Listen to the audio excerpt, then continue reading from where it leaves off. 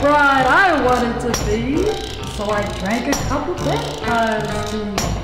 I fell asleep, and when I came to, I was the luckiest chick in the land. My monster's room was holding me, walking hand in hand.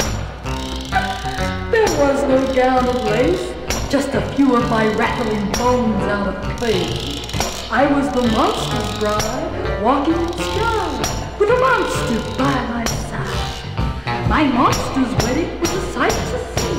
Everybody was crying, everybody was me. the witches, the ghouls, and the zombies were there. Oh, Werewolf headed the list. You should have seen Dracula's son doing the boneyard twist. when my monster groom gave me a kiss,